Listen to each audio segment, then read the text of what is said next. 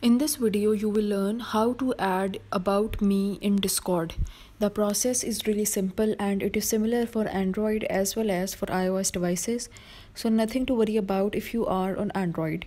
First, make sure that you are connected with the internet and once you are connected with internet, go and tap on your Discord application. Tap on Discord. So to write add about me in discord you have to tap on this mini profile icon located on the right bottom corner of screen. This will open your main profile page. And once you've opened that you can see there is option of user profile the third option. Tap on that. And now here is the bar which says about me. Tap on that bar. A cursor cursor will appear. You have to type anything that you want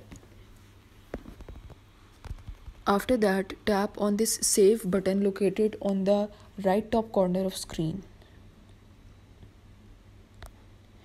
So this was the process by which you can add about me in Discord application. If you found this video helpful, then please like, share and subscribe before leaving. Thanks.